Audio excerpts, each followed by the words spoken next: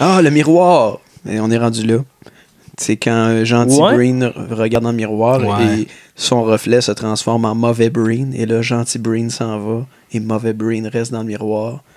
Et on voit plus le miroir dans le plan. Ouais. Et là, il y a un miroir cassé qui tombe à terre. Ouais. Rien compris. Ça, là, Puis il, ça c'est il est artistique. cassé, il, il se casse lentement. Il y a comme plein de villes qui tombent. Ouais, ouais. Comme si quelqu'un l'avait cassé puis l'égrenait comme ça. Ouais. Juste. Ça sert à rien, là.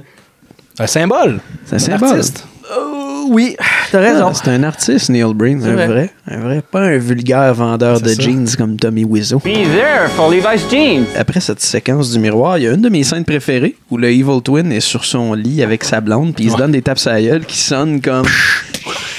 ouais, il sonne presque comme le. Presque comme le snare d'un tune de Phil Collins.